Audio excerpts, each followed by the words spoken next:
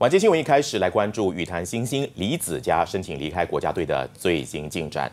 于总宣布，从三天前开始啊，也就是一月十八号起，不会为李子嘉报名任何赛事，为期两年。那换句话说呢，李子嘉未来两年可能无法参加任何国际羽球赛，就连去年成词的女单吴景薇也面临同样处分。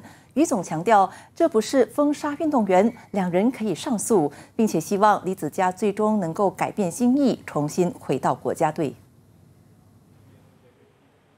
正要在国际运动舞台大放异彩的头号男单李子嘉，在一月十一号突然成词，宣布要离开国家队，转当自由人，让不少人感到十分惊讶。于总下午召开记者会，说明李子嘉离队除了是不堪重负，也难以忍受国家队过于兵营式的训练。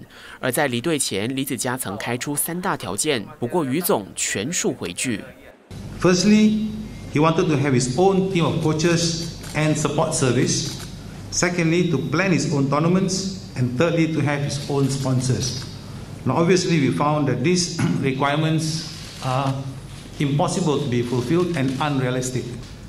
NBM still offered him several uh, lucrative, substantial incentives that include monetary benefits.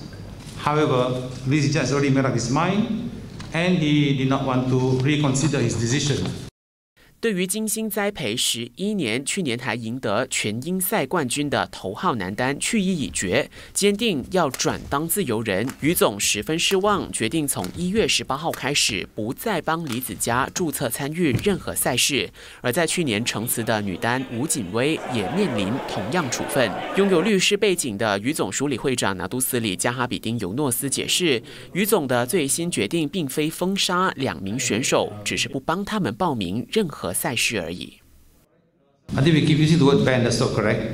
Uh, we're not banning anybody. We're not registering them. It's a big, uh, both legal and factual difference between the two. Uh. We're not registering them. Why is BM not registering? Because it is ironical for BM to register someone who doesn't want to be with BM. 如果我国选手想参加由羽联举办的赛事，无论是自由人与否，还是得经由羽总代为申请。如今李子嘉和吴景薇所面临的处分，其实和被禁赛没有什么区别。但这两名选手还是有机会向羽总上诉。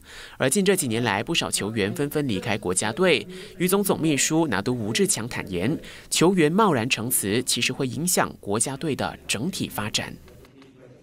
So when when every player, top player that we nurture, we, we build, and if they leave, it will, of course, sponsor will, will also start to be jittery, and perhaps even the funding for development will be reduced.